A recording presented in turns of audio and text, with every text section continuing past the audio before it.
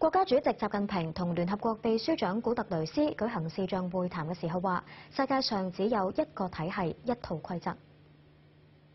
習近平話：疫情放大咗全球治理體系中唔適應、唔匹配嘅問題，各方應該思考點樣加以完善，而唔係推倒重來，另搞一套。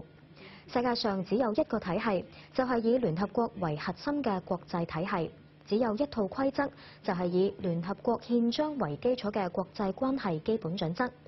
中國從不搞意識形態對抗，從不主張脫歐，從不想稱王稱霸，想得最多嘅係等十四億中國人民過上更好嘅生活，為人類作出更大貢獻。但係亦都唔會坐視國家主權、民族尊嚴同埋發展空間受損。